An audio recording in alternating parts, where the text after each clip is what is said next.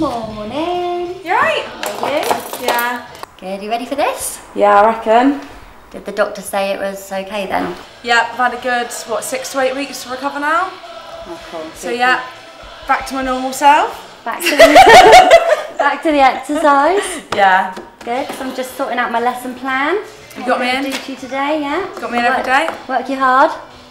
Get something this morning, Cal? What do you mean? Your eyebrows. I haven't had time. Pencil.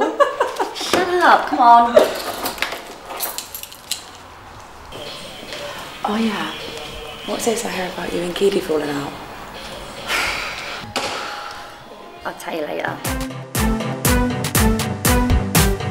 Hey girls, so five minutes of freestyle, okay, before we cool down.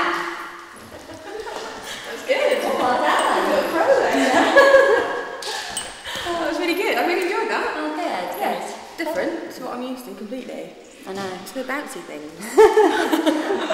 um, guess who I saw the day? So, Just an inappropriate texter. well, I spoke to him. What, face to face? Yeah. and I just said, okay, so we know, and if you do it again, buck your ideas up. Yeah. If you do it again, I'm going to tell her. And what did he do? What was he like? Not much. You say anything? No, didn't say anything. Did... Bet he does it again. Sleeves. Yeah. I'm meeting Keely later. Are you speaking to her yet? Yeah, Oh. Hmm. Do you want me to say something? maybe. I don't know. I might pop down, but Calm down, just Yeah. do it. Just be to the point as c- cow. Just get in there. and Swallow your pride. Just do it.